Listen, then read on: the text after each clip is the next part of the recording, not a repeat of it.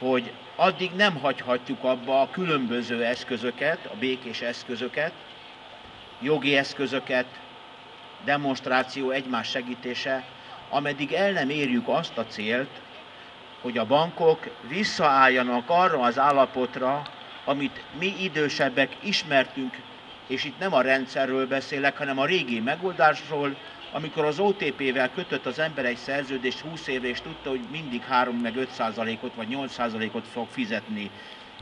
Per pillanat jogászként is a társaimmal együtt mi azon dolgozunk, a jogi részre áttérve, térve, hogy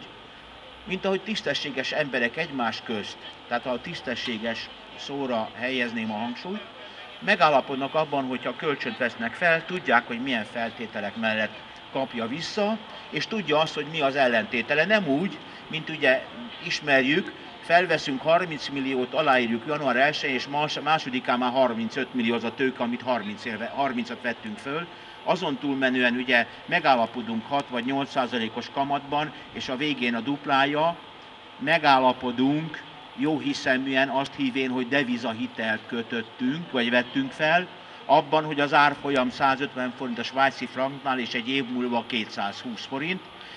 Abban a hiszemben voltunk, hogy a törlesztő részlet, amit mi aláírtunk a szerződés megkötésekor, nyilván a családi kasszát figyelembe véve és a teherbíró képességünket, hogy azt tudjuk teljesíteni. Hát kiderült, hogy jogban is járatlanak vagyunk, meg naivak is vagyunk, mert abban a hiszemben voltunk, hogy a túloldal a bankok azok olyan korrektek, mint ahogy mi szerettük volna a törlesztő részleteinket úgy visszafizetni. Röviden összefoglalva azért harcolnánk a harc macska köröbetéve, hogy bármelyik szerződést is kötöttük meg, az legyen a kiinduló pont és a folytatás, hogy a szerződés kötéskori állapot szerinti feltételek mellett tudjuk törleszteni a hiteleinket, a felmondott szerződéseket állítsuk vissza, a bankok számoljanak el azon az áron velünk, tehát amit mi árfolyam különbözet címén és egyéb ilyen meg nem határozható pluszköltségként ugye tőlünk pluszban kiköveteltek, számítsuk be, és a jövőre vonatkozóan ugye legyen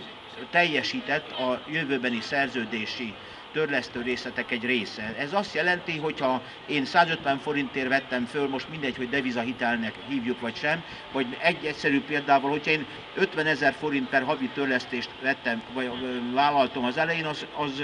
15-20 éven keresztül körülbelül ez legyen, vagy esetleg 1-2 százalékot változhat, de nem azt jelenti, hogy kétszeres meg háromszoros törlesztő árat vállaljak fizetni. Tehát a célunk az, hogy addig addig demonstráljunk, fogjunk össze, ugye tudják, hogy másfél millió szerződés van az országban, tehát a lakosság fele érintett, bár mondjuk a megjelentek számán ezt nem látjuk most, de bízunk benne, hogy tavasszal talán sokszorosa lesz ennek a dolognak, és addig kellene találkoznunk időnként, ameddig ezt a dolgot el nem érjük. Különböző komplex módszereket csinálnánk és csinálunk, nem emlékszem, hogy a Tamás mondta de akkor engedjék meg, hogy két percben elismételjem, bevonadva a népszavazásra vonatkozó kezdeményezésünk, amelynek az lenne a lényege,